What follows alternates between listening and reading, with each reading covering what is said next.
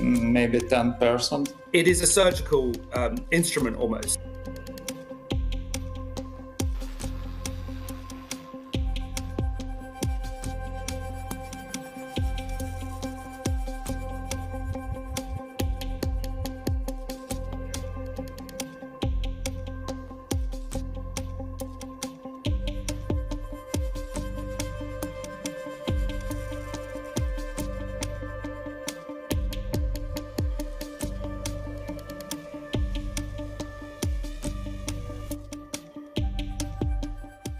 Drone is moving uh, uh, 150 kilometers per hour. It's uh, extremely difficult to, to hit uh, uh, it by gun. You can hit drone only from the distance 30 to from 30 to 50 meters, and it is also dangerous.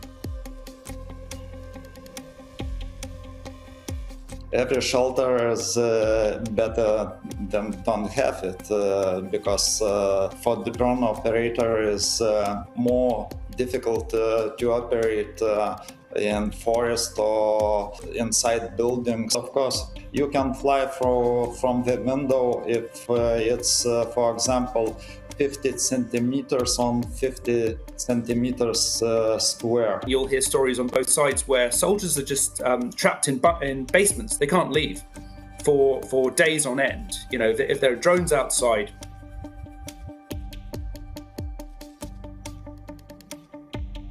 jammers has uh, two limitations it's uh, frequencies and uh, power uh, of jammer you can jam um, a lot of the frequencies that these drones operate on, but you, you can't jam all of the spectrum all of the time. You'll jam your own drones, you'll jam your own communications if you're not careful.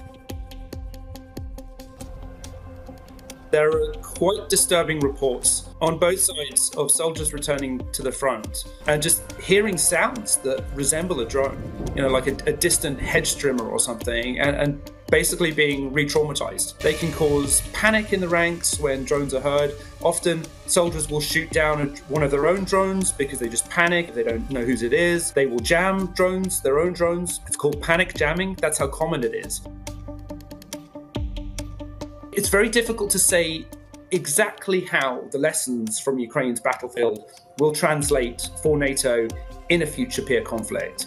I think anyone who tells you they know exactly how drones are going to influence the next war might be a bit dishonest.